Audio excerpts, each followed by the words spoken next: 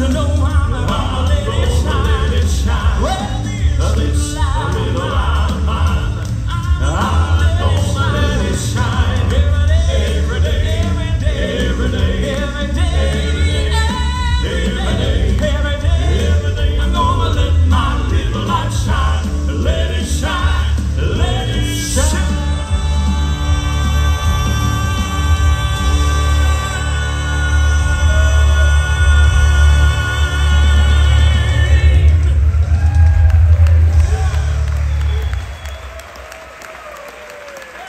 Have you enjoyed the old past tonight?